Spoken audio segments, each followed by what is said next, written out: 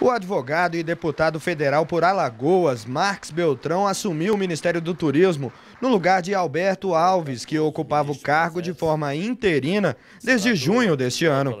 Marcos Beltrão passa a ser o responsável por coordenar a política do setor a nível federal, o que envolve a promoção de destinos e serviços turísticos nacionais, a melhoria da infraestrutura em localidades atrativas e o desenvolvimento do turismo como atividade econômica sustentável que contribui com a geração de emprego e de renda no país.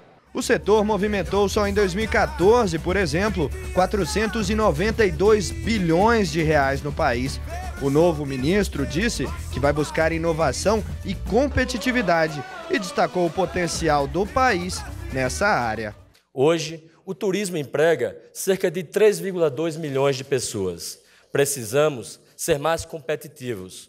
Somos a décima maior economia de turismo do mundo e estamos em primeiro lugar quando se trata de recursos naturais. Ocupamos a oitava posição no quesito cultural. Com muito esforço e trabalhando junto com o setor privado, podemos gerar muito mais postos de trabalho.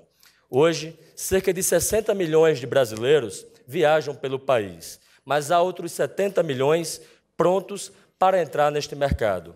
Recebemos uma média anual de 6,4 milhões de turistas internacionais. E não falta capacidade para dobrarmos esse número em um curto espaço de tempo. Marcos Beltrão afirmou que é preciso avançar na qualificação profissional.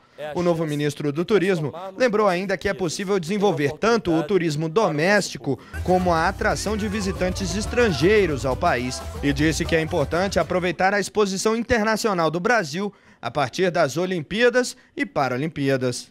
Estivemos na vitrine do mundo com a realização da Olimpíada e Paralimpíada do Rio de Janeiro. E o mundo gostou do que viu. Quase 88% dos turistas estrangeiros afirmaram que pretendem voltar ao país após a experiência no evento. Agora, o momento é de aproveitar o sucesso dessa exposição para projetarmos políticas e programas permanentes a partir dos êxitos obtidos. Em seu discurso, o presidente Michel Temer reforçou a importância do setor e da contribuição que pode dar para a atividade econômica e destacou que o turismo tem grande capacidade de gerar empregos. Sem dúvida alguma, o turismo é um indutor de empregos extraordinário. Todos os setores governamentais tem como ponto de partida e como ponto de chegada exatamente a criação eh, de novos empregos. Eu tenho dito com frequência né, eh, que o emprego é o primeiro dos direitos sociais.